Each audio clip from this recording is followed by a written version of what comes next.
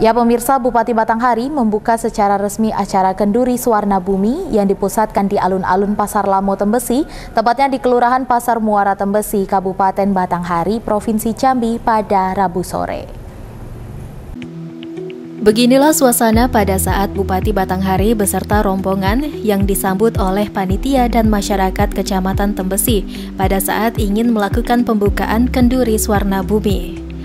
Hadir dalam acara tersebut, Bupati Batanghari Muhammad Fadil Arif, Ketua Tim Penggerak PKK Batanghari Zulfa Fadil, Wakil Bupati Batanghari, Sekda Batanghari, serta Kepala OPD dan unsur Forkopimda Batanghari.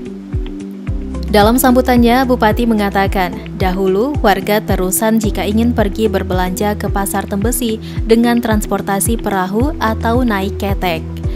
Bahkan Bupati mengungkapkan bahwa pada masa kecil dirinya beserta masyarakat jika sakit dan akan berobat harus datang ke rumah almarhum Pak Derajat yang rumahnya di Tembesi.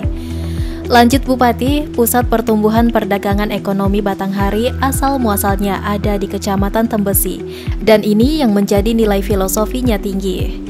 Ia juga mengatakan Tembesi sebagai pusat perdagangan dengan geografis perubahan, dan inilah saatnya mengingatkan kembali sejarah dengan mengadakan kegiatan dan melestarikan peninggalan-peninggalan sejarah yang ada di Tembesi.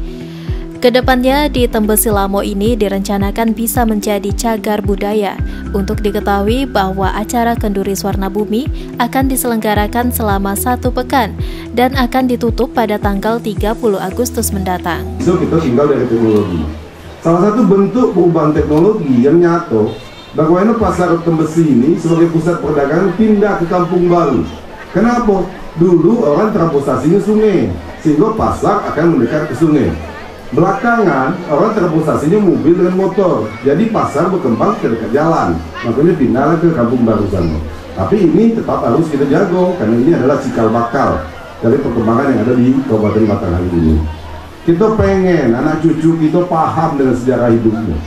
Begitu banyak orang kini itu tidak ada lagi tahu dengan sejarah hidupnya, sehingga kadang-kadang dia lupa hormat dengan orang tuanya, dia lupa hormat dengan memannya, dia lupa kuburan datuk.